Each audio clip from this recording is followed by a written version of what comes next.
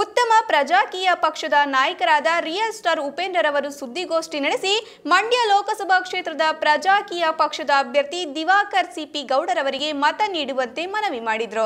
ಸುದ್ದಿಗೋಷ್ಠಿಯಲ್ಲಿ ನಟ real star Upendra ಅವರು ಮಾತನಾಡಿ, ಈಗ ನಡೆಯುತ್ತಿರುವಂತಹ ವ್ಯಾಪಾರ ರಾಜಕಾರಣವನ್ನು ತೆಗೆದು ವೃತ್ತಿಪರವಾದಂತಹ ಒಂದು ಪ್ರಜಾಕೀಯವನ್ನು ತರಬೇಕು ಎಂಬ ಉದ್ದೇಶದಿಂದ ಉತ್ತಮ ಪ್ರಜಾಕೀಯ ಪಕ್ಷ ಎಂದು ಮಾಡಿದ್ದೇವೆ.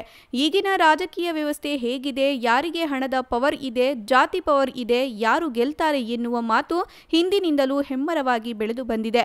ಆದ್ದರಿಂದ ಹಣ ಬಲ, ಜಾತಿ ಬಲ, ಯಾರ ಬಲವಿಲ್ಲದೆ ವಿಚಾರಗಳಿಂದ ತಲುಪುವಂತಹ ಪ್ರಯತ್ನ ಇದು. ಎಲ್ಲರೂ ಬುದ್ಧಿವಂತಿಕೆಯಿಂದ ನಿಮ್ಮ ಮತಗಳನ್ನು ಯಾರಿಗೆ ಹಾಕಬೇಕು ಎಂದು ಚಿಂತಿಸಿ ಮತ ನೀಡಿ ಪ್ರಜಾಕೀಯವನ್ನ ಗೆಲ್ಲಿಸಿ ಎಂದರು. ನಿಜವಾದ ಕ್ವಾಲಿಫಿಕೇಶನ್ ಇರುವಂಥವರು ಹಣ, ಏನು ಜನಬಲ, ಜಾತಿ ಬಲ, ಬೇರೆ ಯಾವುದು ಬಲ ಇಲ್ಲದೇ ಬರೀ ವಿಚಾರಗಳಿಂದ ತಲುಪುವಂಥ ಒಂದು ಪ್ರಯತ್ನ ಇದು.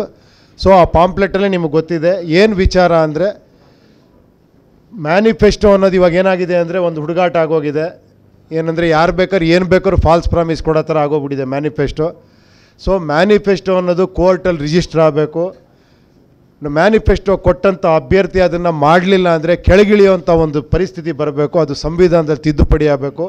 ಸೊ ಅಲ್ಲಿವರೆಗೂ ನಾವು ಮ್ಯಾನಿಫೆಸ್ಟೋ ಕೊಡೋದು ಬೇಡ ಅಂತ ನಿರ್ಧಾರ ಮಾಡಿದ್ದೀವಿ ನಮ್ಮ ಮ್ಯಾನಿಫೆಸ್ಟೋ ಅಂದರೆ ಜನಗಳೇ. ಜನಗಳಿಗೆ ಏನು ಬೇಕು ಅಂತ ನಿರಂತರವಾಗಿ ಸಂಪರ್ಕದಲ್ಲಿ ಇಟ್ಕೊಂಡು, ಅದಕ್ಕೆ ನೋಡಿ ಒಂದು ಒಂದು ಒಂದು ಡ್ರೆಸ್ ಕೋಡು ಕೊಟ್ಟು, ಒಂದು ಯೂನಿಫಾರಮ್ ಕೊಟ್ಟು, ಏನೋ ಒಂದು ನೈನ್ ಟು ಸಿಕ್ಸ್ ಪ್ರಾಪರಾಗಿ ಜಾಬ್ ಮಾಡೋವಂಥ ಒಂದು ಒಂದು ಇದು ಅಂತ ಹೇಳ್ಬಿಟ್ಟು, ಸೊ ಜನಸಂಪರ್ಕದಲ್ಲಿದ್ದು ಪ್ರತಿಯೊಂದು ಏನೇನು ಬೇಕು ಅವ್ರಿಗೆ ಅಂತ ತಿಳ್ಕೊಂಡು ಆಡಳಿತ ವರ್ಗದ ಮುಂದೆ ಇಟ್ಟು, ಅದರ ರಿಪೋರ್ಟ್ ಕೊಟ್ಟು ಏನಾಗ್ತಿದೆ ಅನ್ನೋ ಪ್ರತಿಯೊಂದು ಕೆಲಸನೂ ಕೂಡ ಟೈಮಿಂಗು ಟೈಮ್ ಲೈನು ಟಾರ್ಗೆಟ್ಸ್ಗಳು ಇಟ್ಕೊಂಡು ಹೇಗೆ ಒಂದು ಏನೋ ಮಲ್ಟಿನ್ಯಾಷನಲ್ ಕಂಪ್ನಿಗಳು ವರ್ಕ್ ಮಾಡುತ್ತೋ ಆ ಥರ ಒಂದು ವರ್ಕ್ ಮಾಡಬೇಕು ಒಂದು ಒಂದು ಆಶಾಭಾವನೆಯಿಂದ ಈ ಉತ್ತಮ ಪ್ರಜೆಗೆ ಪಕ್ಷ ಅಂತ ಮಾಡಿದ್ದೀವಿ.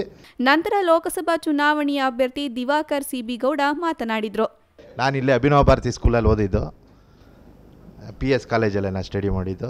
ನಮ್ಮ ಪ್ರಾಪರ್ಟೀಸ್ ಎಲ್ಲ ಇಲ್ಲೇ ಇದೆ ನಮ್ಮ ಮನೆ ಎಲ್ಲ ಇಲ್ಲೇ ಇದೆ ಕ್ಯಾತುಮ್ಗೇರಿಲಿ ಚಿಕ್ಕಾರಳ್ಳಿ ನಮ್ಮ ಮೂಲವರು ನಮ್ಮ ತಂದೆಯವರವರು ಶ್ರೀರಂಗಪಟ್ಟಣ ತಾಲೂಕು. ಕೊಡೆಯಾಲ್ದ ಹತ್ರ ಬರುತ್ತೆ. ಸರ್, ಇಲ್ಲಿ ಏನಂದರೆ ಸರ್ ಏನು ಹೇಳಿದ್ರು ಅದಕ್ಕೆ ನಾವು ಯಾವತ್ತೂ ಬದ್ಧ. ಆಯಿತಾ? ಏನಂದರೆ ಇಲ್ಲಿ ಒಂದು ಎಕ್ಸಾಂಪಲ್ ಮೊನ್ನೆ ಟ್ವೀಟ್ ಮಾಡಿದ್ರಲ್ಲ ಸರ್ ಅದು.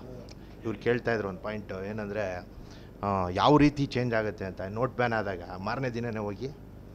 ಎಲ್ಲ ಅದೊಂದು ಹೇಳಿ ಸರ್ ಅದೊಂದು ಪಾಯಿಂಟ್ ನೀವು ಏನಂದರೆ ಸೋಷಿಯಲ್ ಮೀಡಿಯಾ ಮೀಡಿಯಾಯಿಂದ ತಲುಪಲ್ಲ ಹಳ್ಳಿ ಹಳ್ಳಿಗೆ ಅಂದ್ರಲ್ಲ ಏನೋ ನಮ್ಮ ಪ್ರೈಮ್ ಮಿನಿಸ್ಟರ್ ಸಾರು ಅಲ್ಲಿ ಕೂತ್ಕೊಂಡೊಂದು ನೋಟ್ ಬ್ಯಾನ್ ಬಗ್ಗೆ ಹೇಳಿದಾಗ, ಮಾರನೇ ದಿನ ಇಡೀ ಇಂಡಿಯಾ ತಲುಪಿತ್ತದು.